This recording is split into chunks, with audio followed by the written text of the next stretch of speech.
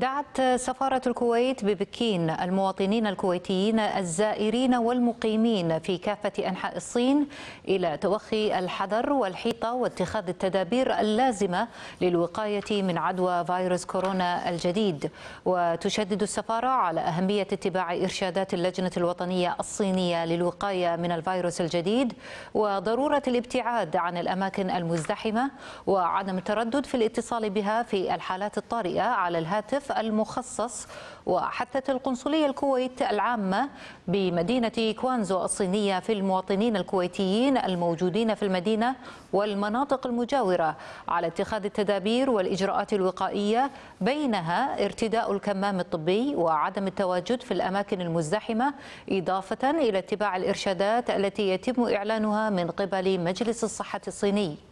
وأضافت القنصلية أنها خصصت خطا ساخنا لاستقبال اتصالات واستفسارات المواطنين الكويتيين من خلال الاتصال على رقم الطوارئ.